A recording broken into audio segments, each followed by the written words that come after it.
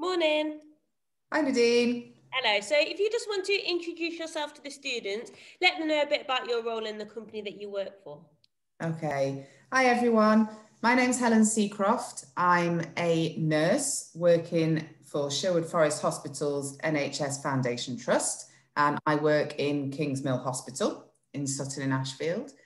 Um, my title is Advanced Clinical Practitioner and also corporate lead for advanced practice. So I have two jobs uh, when I'm working at Kingsmill Hospital.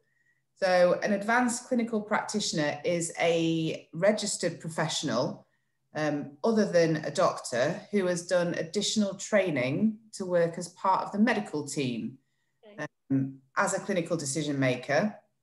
So I qualified as a nurse. I've been a nurse for about 18 years. And then my career has progressed for me to be an advanced clinical practitioner. And I've, to do that, achieved a master's in advanced practice. Okay. So, what does your role kind of entail then as an advanced practitioner? What differentiates you between a nurse and somebody who's more advanced?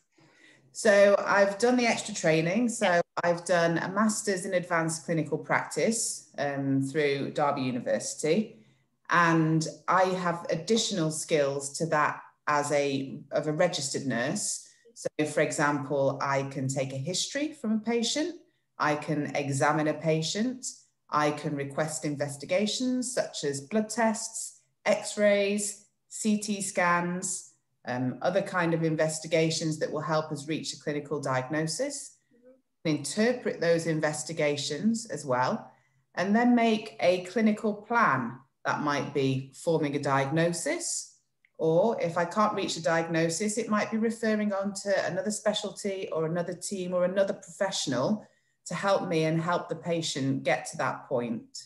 Okay, so your second role um, was that that's the nursing role, isn't it? Yeah, so that's the so my first role is the advanced clinical practitioner role. Yeah. And then my second role is the lead for advanced practice in the organization that I work for. Okay, so tell me a bit about the lead role that you have. so, advanced clinical practitioners are relatively new in terms of career pathways within the NHS.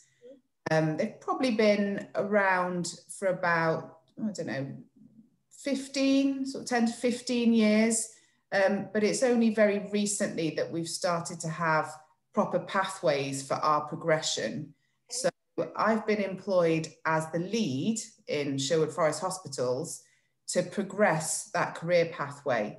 So that's recruiting more advanced clinical practitioners, ensuring that their training is adequate and that they're well supported in the clinical setting, and ensure that we've got good governance frameworks, for example, competency packs, training packs, supervision packs to make sure that they're supported in their practice. Okay, that sounds good. So take me back to the start of your career. So you've been the nurse for 18 years. What things did you study kind of at college leading up to now? um, so when I finished my GCSEs, um, I had to make sure that I had a C in maths and English. Uh-huh. I got, thankfully. I then on to do an advanced GNVQ in health and social care. Um, I chose this over A levels because I like the vocational aspect, um, the practice placements, the more coursework based element of the study rather than the sort of more traditional A level route. Um, so I did my advanced GNVQ in health and social care, and then I was able to go on to university and start a bachelor's in nursing degree. So straight from college, I went to university and did the four year degree in nursing. Okay. So had you intended always to be a nurse then, or did you kind of stumble into it? Um, when I when I was 16 and left school, it was a toss up between pursuing an art route or nursing route, and I went down the nursing route. So there was a bit of, but I find that because the nursing career is so varied, opportunities to explore other sort of avenues within your own sort of you know career pathway. So for example as a nurse for example working in a mental health setting art is used quite a lot. So you know I, that wasn't the route for me, I went into emergency nursing and worked in A&E, but there is the opportunity to explore lots of different elements within the nursing career. Okay, so what kind of other roles are there within nursing and within kind of the organisation? So, I mean, it, it's huge. So, nursing in itself is vast. Um, I work in A and E, um, but there are there are so many. So you can it's you can do children's nursing, mental health learning nursing, learning disability nursing, and then within that, nursing can be purely clinically focused, or there's the opportunity to progress into management or leadership roles.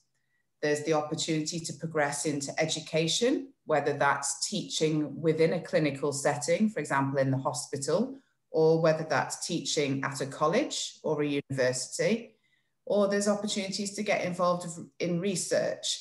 So, in terms of career opportunities, it's a fantastic career enable that enables you to broaden and explore all sorts of different career opportunities. Hmm, okay, that sounds good. So, is it quite an easy kind of place? So, the hospital is easy to kind of move within. Um, yeah, my career's been really varied. I haven't always worked at Kingsmill. So I started working down in South Wales um, and then I spent some time working abroad. So I worked in Australia, um, which was fantastic. I was able to work in Sydney. So my UK nursing registration allowed me to work in Sydney and Perth. I also spent some time working in the outback with the Aboriginal community, running a clinic out there, which was fascinating, really interesting. Um, then I came back to the UK and picked up my nursing registration again. And then I start, that's when I started to pursue my career as an advanced clinical practitioner. So there are so many opportunities available um, for somebody that wants to progress and expand their career and get a variety of different roles. Mm-hmm. Been involved in education. So I was a resuscitation officer for a year. So I was delivering resuscitation training like basic life support, um, to the nurses and some of the other allied healthcare professionals within the hospital. I was then able to also get involved with the hospital at night teams. That's a team of medical and nursing staff that look after patients purely at night. And that's where I started to get interested in the advanced clinical practitioner role, taking on those extra skills to look after the patients. So, just out of interest, what made you go to Australia? um, just just the opportunity because because you can with the UK nursing registration you can work in many different places across the world. Um, also the sunshine and the fabulous weather. Yeah. so that that was an appeal. Um, and just the opportunity to travel when I was younger. And I had a fantastic time made friends over there um, learn a different way of working and a different way of nursing and different skills. And I've been able to bring that back to the UK and enhance my own practice over here. Yeah, that sounds good.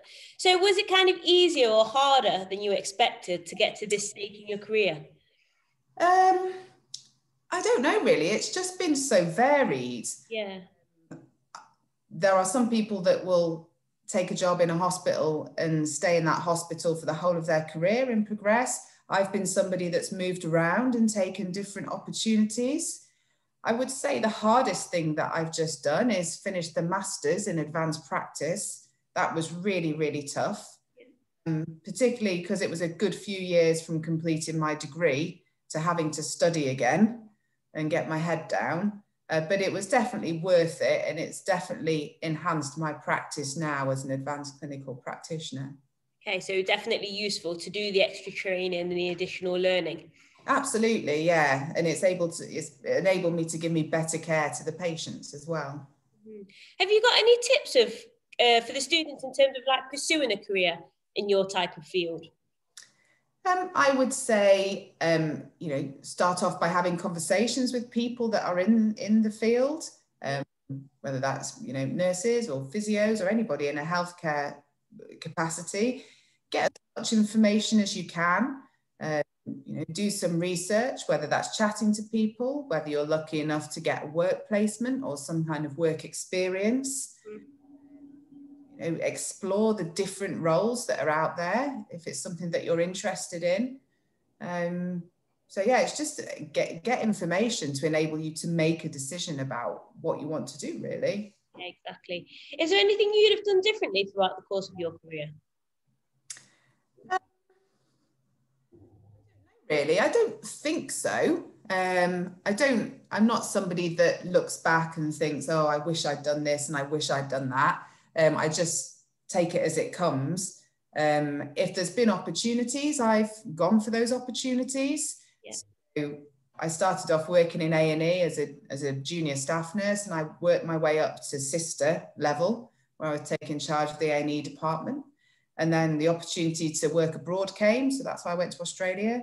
Then the opportunity to be a, a nurse practitioner came. So that's what I've done. So yeah, probably one thing is just keep looking forward and, and not look back and, you know, dwell. If it doesn't quite go right um, when you first thought, just keep trying. Uh, there's so many opportunities and so many different routes into nursing now um, that it, you know, it doesn't have to be one size fits all.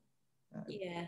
There's different routes to get to where you want to be exactly. Just out of interest as well, did the opportunities present themselves to you or did you go looking for them? Um, both really. So there's some occasions, particularly in the hospital uh, or other hospitals where I've worked, where there's opportunities for promotion.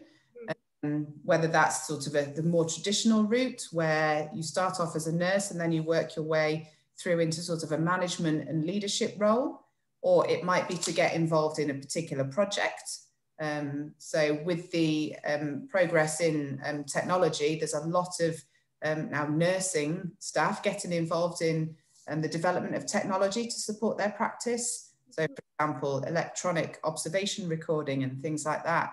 Um, so if you have a particular interest in technology and you're very tech savvy, you can, you know, you can get involved in that alongside your normal nursing um, work, so the, like the clinical work. Um, or, you know, the other thing, I was particularly interested in being a nurse practitioner. So I started to explore that and I had to do that off my own back, as it were. Um, so started looking online, looking at courses, looking at the entry requirements. So I'd say a bit of both. Yeah, okay. Are there any resources that you can point the students in the direction to, whether that be kind of books, websites, podcasts, anything like that that's going to help them in terms of their development? Um, so there's the NHS Employers website. So um, there's a lot of stuff on there about being an advanced clinical practitioner. Um, there's also the NHS Health Careers website. Um, obviously, there's the organisational website, so the Royal College of Nursing, if you're particularly interested in nursing, or some Chartered Society of Physiotherapists, or the College of Paramedics. Um, so there's those kind of websites, or the registering body. So for me, that's the Nursing and Midwifery Council, or if you're an allied health professional, it's the HCPC as well. So they all have lots of good information about starting in a, as a, a, career in, in health and also how you can progress within that framework as well. Okay, so some good stuff out there. Yeah. And I didn't ask you that's going to be useful. Okay. What is a typical day like for you? um, really varied. So my role currently involves some non-clinical time, which is where I do the lead post for the advanced clinical practitioners and also clinical time in ED. So this week, for example, today and tomorrow, I'm in the office. On Wednesday, I'm working a clinical shift in A&E. Thursday, I've got a study day where I'm learning about um, caring for pediatrics. Friday, I'm clinical again. So it's really varied. And I think that's part of the appeal of nursing is um, the variety of, of things that the role can entail. Okay, that's a lot of information, which is really, really good. Uh, I don't want to ask you any more questions. I think you've given okay. a bit of insight, to be honest, into what it is that you do, and a lot of material for the students to go away and kind of do a bit more research and digging with. So thank you so much for speaking to me. Okay, you're welcome. Appreciate it. Okay, thanks, Nadine. Thank you. Enjoy the rest of your day. Thank you. Bye. Bye.